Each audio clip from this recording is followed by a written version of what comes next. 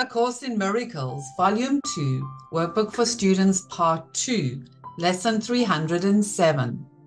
Conflicting wishes cannot be my will. Father, your will is mine, and only that. There is no other will for me to have. Let me not try to make another will, for it is senseless and will cause me pain. Your will alone can bring me happiness and only yours exists. If I would have what only you can give, I must accept your will for me and enter your peace where conflict is impossible. Your Son is one with you in being and in will, and nothing contradicts the holy truth that I remain in you as you created me. And with this prayer, we enter silently into a state where conflict cannot come because we join our holy will with God's in recognition that they are the same.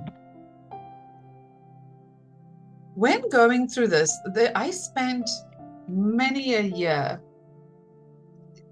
wondering, oh my gosh, what if God's will is going to be something that I really, really just do not want? That I what if he sends me to a country to go into the remotest of remote places to do something I really, really don't want to do? And I had this really obscure vision of God imposing this will upon me and it not being what I wanted. And I've actually come to realize that is such a lie. That is such a lie. It's not true. If God is within you, and God is your source. And all God wants for you is happiness. Why on earth would God want you to suffer and be in pain and be in conflict? And so I looked at this long and hard, and I've come to realize when I sit down and I go, what is it that I'm really, really good at and that I should be doing? What is it that, where can I serve? Where can I serve? Where can I best serve humankind? Where can I, where can I best give of my best to those who really need it? And then I sat down one day and it took me seven years to figure it out, to, to actually go through a very, very dark, difficult time in my life, which was, yes, brought upon by external, ex, external circumstances and myself. And I've really come to believe that you will know in your heart of hearts what it is that you should be doing. You will really, really know this. Forget the teachings, forget who you've heard say what about the will of God. Forget everything and go within to that silent place within you and sit there with peace and in peace and ask yourself, where can I best be of service to humankind? Where would you have me go? What would you have me do? We say this every day. What would you have me say unto whom? And out of that was born the will that I know that I'm here to do. We are all united and connected through this, you can call it fragility of life, but we are all connected. There's a oneness that unifies us but we have different parts to bring. Just like in any sports game, any position held, that team player has a certain goal, which is different to another position on the field.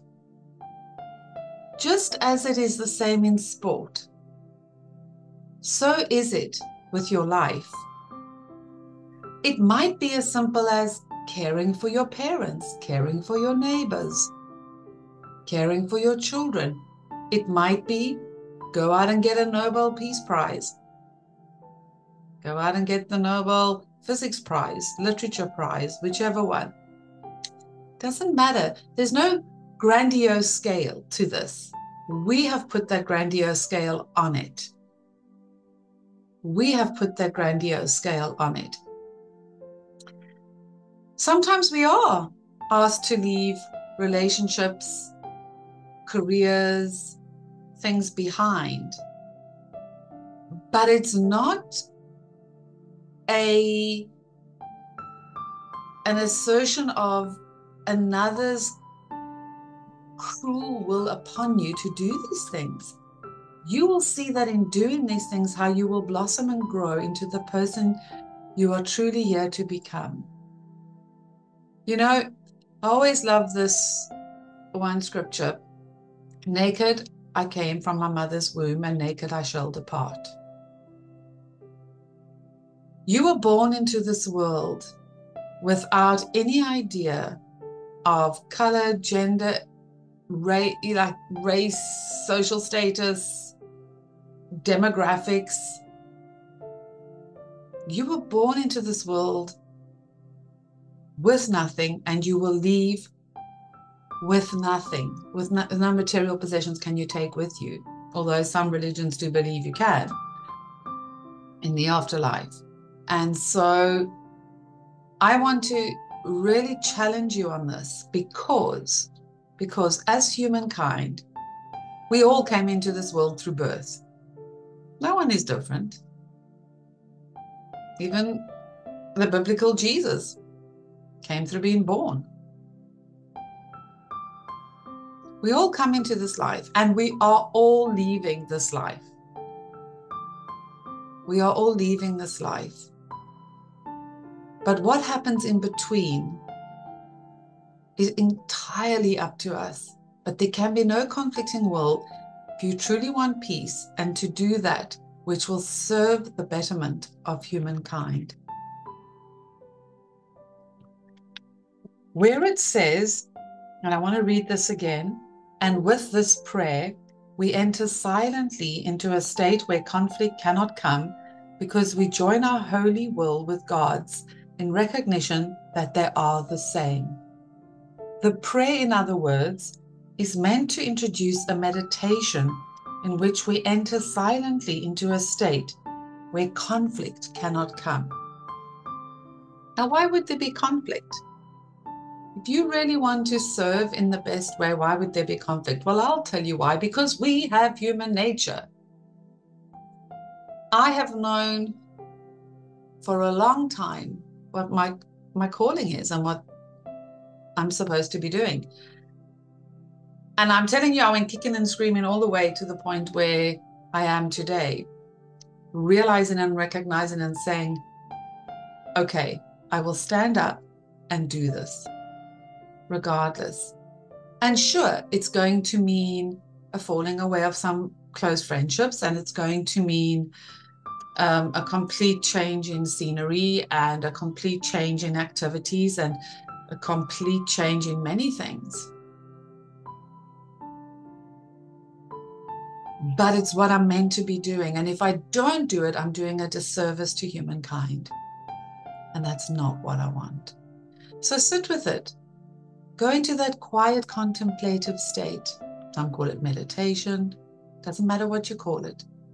Just go into that Breathe in, out, and find the peace within that you can see without a shadow of a doubt exactly what it is you're meant to be doing. So, I hope you enjoy this. I know it can be scary, so if it is, reach out to me below and I will give you guidance where I can. Until tomorrow, take care.